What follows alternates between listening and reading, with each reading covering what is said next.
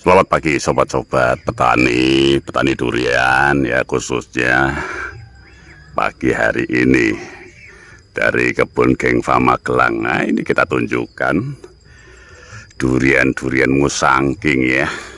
Nah ini, ini durian bawornya ini ya durian bawor ini. Nah ini wow ini juga wow. ini di sebelahnya musangking lagi. Ya. Durian musangking lagi tuh nih wow. Tuh ini durian musangking juga tuh ya. Masya Allah Alhamdulillah. Ya ini durian musangking ya.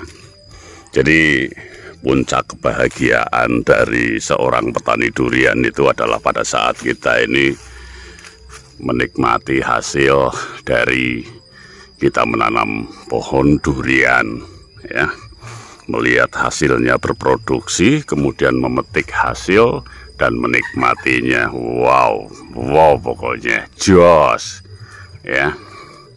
Durian musangking sebagaimana yang saya sampaikan tadi bahwa puncak daripada kita itu memiliki kebahagiaan adalah pada saat kita itu memetik dari durian musangking yang kita miliki seperti ini ya.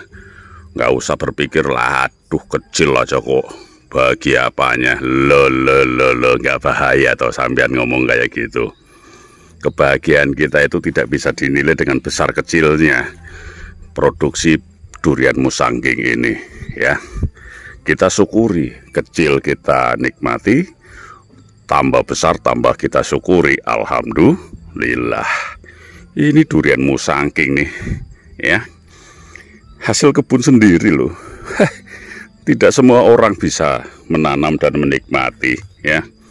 Nih ini hasil kebun kita sendiri tuh di belakang rumah ya Tuh, masih berapa coba itu? Itu masih ada ya lumayan lah ya. Memang ini adalah sisa-sisa rontokan ya. Karena kemarin memang jarang hujan. Tapi ya alhamdulillah Allah masih menyisakan beberapa butir di pohon-pohon ini termasuk pohon yang sana itu. Di pohon-pohon lain masih kecil-kecil. Alhamdulillahirrahmanirrahim Durian musangking bro.